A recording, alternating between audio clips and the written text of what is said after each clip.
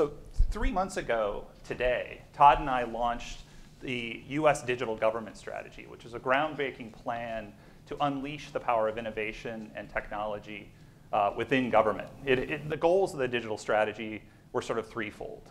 One was, one, to just, just have great impact, to focus on impact and driving impact across government. Two was saving taxpayer money. We think we can do things better, faster, and cheaper by unleashing innovation.